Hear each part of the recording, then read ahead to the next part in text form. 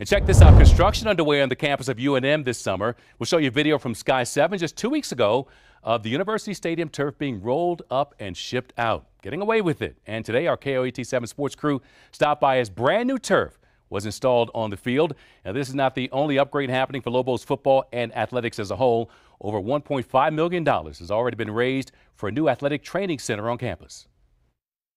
So four years after a big improvement, usually you see success. Well, I'm banking on that. And so we're doing a whole bunch of new things between the turf, between the new weight room.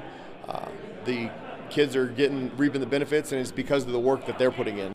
Lobos will break in that new turf Thursday, September 2nd in their season opener against Houston Baptist.